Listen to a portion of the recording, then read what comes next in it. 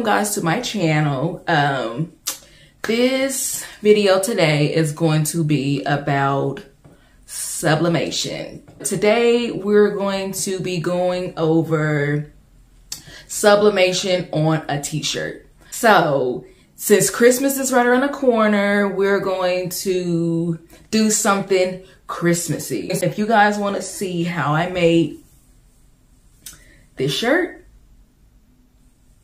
tell me this isn't cute. Polyester is the best to sublimate on because cotton is not really good. So if you try to use cotton, cotton will not sublimate as well. Now, if you have a mix that's like um, cotton and polyester, longs of polyester count is higher than the cotton. So maybe you have a polyester shirt that's 65% polyester and then like 35% cotton that works just as well.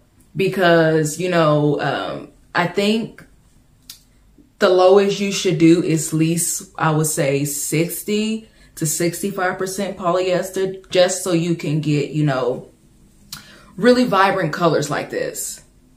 So if you guys want to see how I've created this shirt, stay tuned and head on on with me over to the computer. I'm going to come to my web browser and I'm going to come to Creative Fabrica. Um, I use this to get a lot of my different um, images. They have packages of and bundles and I mean they have everything you can really think of and the good thing about it if you use Creative Fabrica and you get like the all access which they kind of have in a sale right now if you get that one you um, will have access to everything let me scroll down like all the fonts all the graphics um, you even hold on, I'm gonna show you guys in a second. You even will get the commercial license if you wanna, if you wanna like um, make stuff and be able to sell it, you know, like shirts, tumblers, or anything like that. It will come with a commercial license so you'll be able to use the image in something you want to create or sell to somebody. So we're just gonna type in Christmas. And I'm going to do PNG because I do want my image to be a P PNG. Okay, so here they have so many different options, you guys. Okay, so here is a cute one. Let's click on this one. Okay, so here is what your image will be. And when you do get this image, it will be just like a blank background. You won't see like all these different little, you know, these little lines that's in the back of the picture. Anyways, um, it shows you how the picture would look if you would do like a sweatshirt, if you would put the image on a mug. Um, they even have pillowcase and you know how it would look if you was to put it on a t-shirt so before you download the image you usually be able to see like all the whatever you basically want to use your image for. They'll usually give you an example of what it would kind of look like if you was to put it on something. So oh and this is what I mean you guys like it includes the commercial license and you know, that's just like I said, if you guys want to use it to like sell an image, because you, you can't just go and steal someone's image and then, you know, sell it and because you could get in trouble. But yeah, they does come with a commercial license if you do want to sell something with any one of these images. So I do already have mine downloaded because I was searching earlier. So I do already have one, uh, mine's downloaded already. So what I'm to do is go to my files. There you have your image. And this is how it would actually look. But it would just, it has no background. It's just the image. Okay, so long once we know that our image downloaded good and all that good stuff, we can go over here to, I'm gonna click on it and I'm going to edit it because we have to mirror our image. Okay, so I'm gonna save that since it's already mirrored, we don't have to do anything to it. I'm going to go down and I'm going to go to print. Okay, so I'm using the Epson 2800 series and I want to print this in landscape mode since it is like a wider image. Uh, I'm going to change my paper size to this one. I'm going to put it to where it fits because you see how this is cut off. I'm going to change it to where it fits. Okay, so you see how now it's all in the image. Now what I'm going to do is go into more settings and I'm going to change my paper type to the premium presentation paper mat. I'm going to change my color to high because I want it to come out really vibrant. And then I'm going to push OK. Okay, so now we are ready to print. Okay guys, so we're at the printer. Okay, so yes, this is the paper that I am using. It's the A sub and it is the 125 8.5 by 11. Okay. And it just looks like a standard piece of paper. A sub on the back. We're going to load our printer.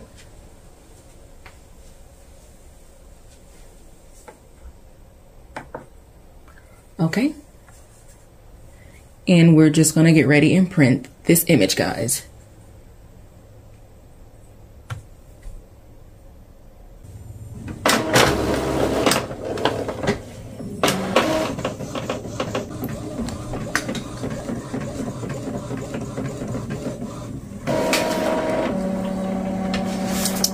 Okay guys, our image is printed. Okay, so it's time to head on over to our heat press. See you guys there.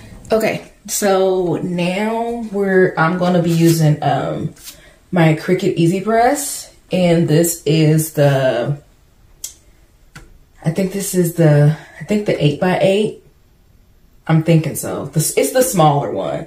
Um so I'm just gonna turn it on and I'm gonna um, wait till that heat up.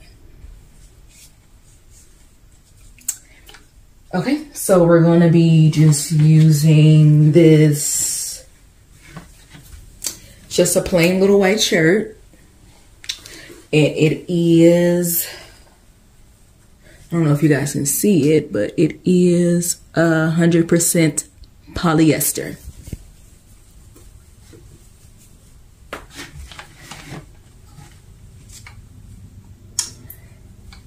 you're gonna make sure you have one of these handy because you don't want any lint or anything inside of um, on your shirt when you press it because it will leave um, speck marks on your shirt if you do if you don't use your lint roller and I'm just going to lay my shirt out.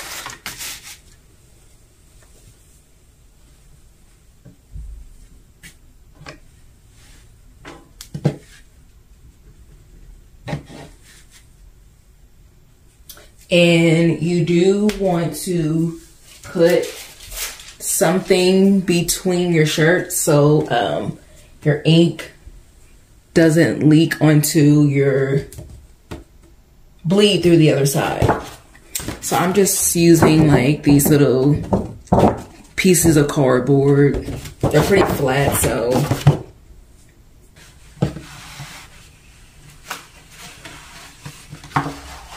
And I'm kind of gonna turn this board around because it is like had some spaces and I don't want any anything to leak through the other side. So all I did was just turn the board sideways, like kind of like landscape mode.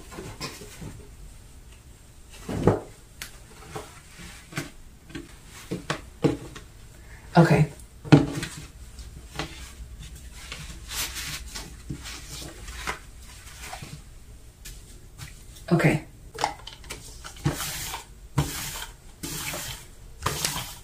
And I am going to press it to get these wrinkles out.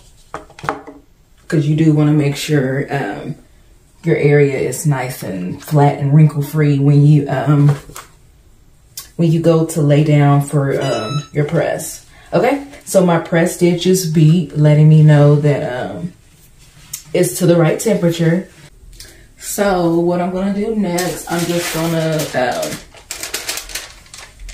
oh, and I do wanna let you know guys know that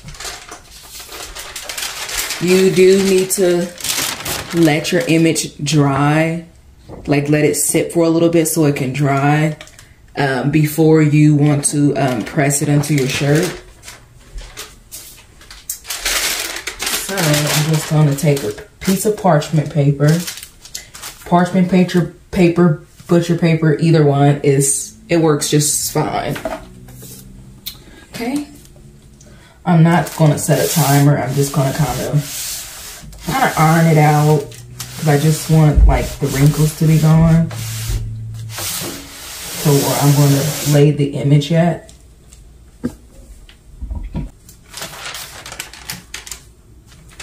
Okay, so now your area is is prepped and ready to go.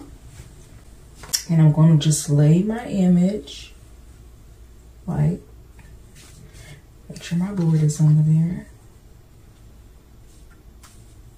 And you will need some heat tape just so when you press it, your image doesn't move. I'm just using a standard little heat tape.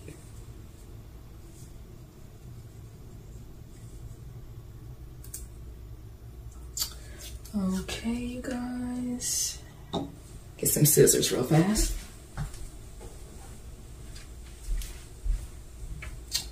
Okay, just gonna cut a piece. Kind of just put it up here. And I'm just gonna put another piece at the bottom.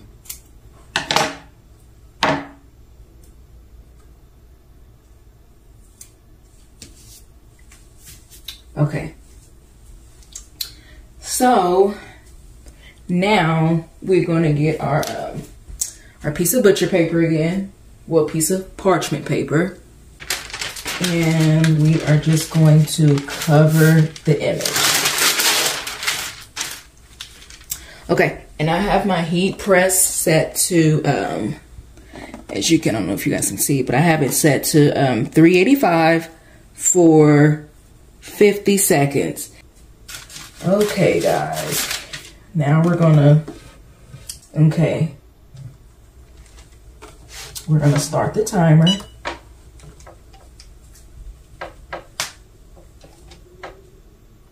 And you don't have to slide it, just firm pressure until your timer runs out. Okay.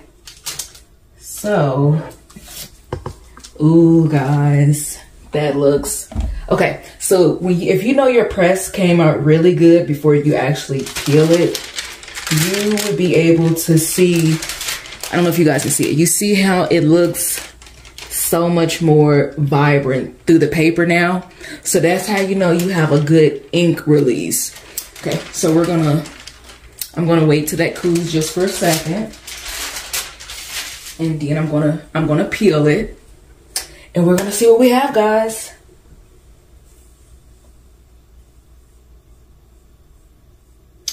Okay.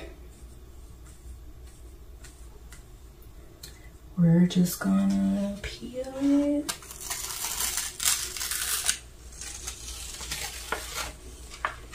Oh my God, guys, look at that.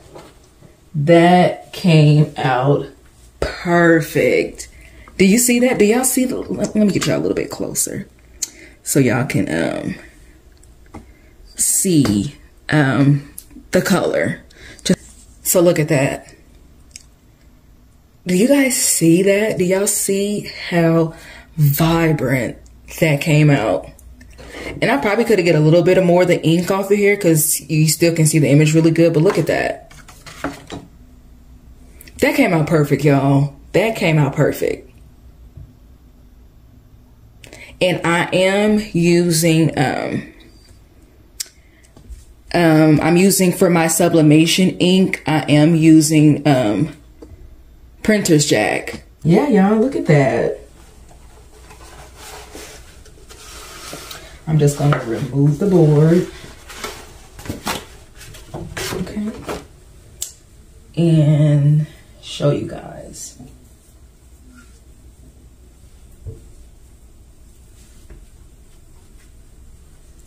Look at that.